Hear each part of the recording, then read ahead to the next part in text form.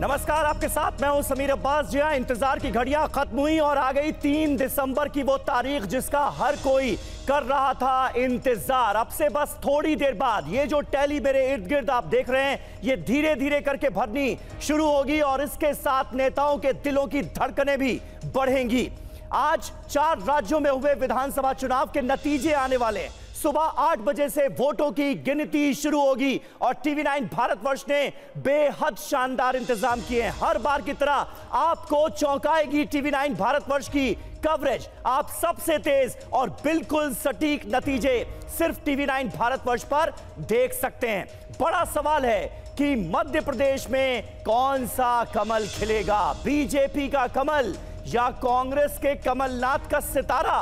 चमकेगा। मध्य प्रदेश पर सबकी नज़रें होंगी। छत्तीसगढ़ में इस बार बड़ी कांटे की टक्कर रही है। छत्तीसगढ़ में कांग्रेस को उसकी योजनाओं का फ़ायदा मिलेगा या बीजेपी का दांव चलेगा? इस पर भी सबकी नज़रें होंगी। जवाब थोड़ी देर में हमारे सामने होगा। राजस्थान में हर पाँच साल पर सरकार बदलने की रवायत है, रिवाज रहा है। इस बार भी यह रिवाज कायम रहेगा या फिर बदलेगी रवायत? इस पर भी सबकी नज़रें होंगी। और तेलंगाना में इस बार किसकी बनेगी सरकार? जनता कांग्रेस को मौका देगी या फिर केसीआर? हैट्रिक के लिए तैयार हैं। आज आपको इन सारे सवालों का सबसे सटीक जवाब सिर्फ़ टीवी नाइन भारतवर्ष पर मिलेगा।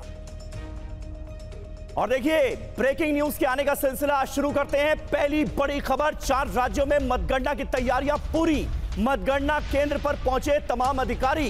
तो तैयारियाँ शुरू हो गई हैं। चुनाव अधिकारियों ने लिया है स्थिति का जायजा।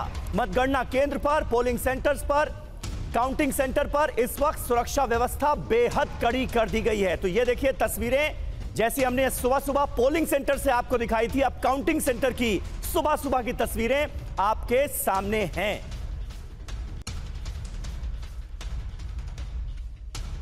धड़कनें बढ़नी शुरू हो चुकी हैं। चार राज्यों में आज नई सरकार का होना है फैसला।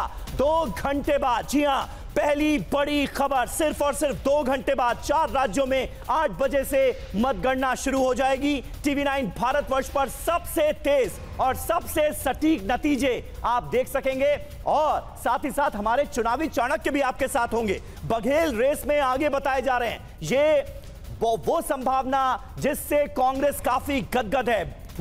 बहुत बघेल जो है, वो बहुत ही मज़बूत नेता के तौर पर उभरे हैं। और इस बार कड़ी टक्कर उन्होंने भारतीय जनता पार्टी को दी है। चार राज्यों में आठ बजे से मतगणना होगी। टीवी नाइन भारतवर्ष पर सबसे तेज नतीजे आपके सामने होंगे। इस बार राजस्थान का मुकाबला भी बहुत दिलचस्प रहा। हमेशा इसके पहले के कई चुनावों में हमने देखा है, गहलोत वर्सेस वसुंधरा राजे होता था, लेकिन इस बार गहलोत वर्सेस बीजेपी था। कांग्रेस के जादूगर कहे जाते हैं अशोक गहलोत क्या उनका जादू चलेगा?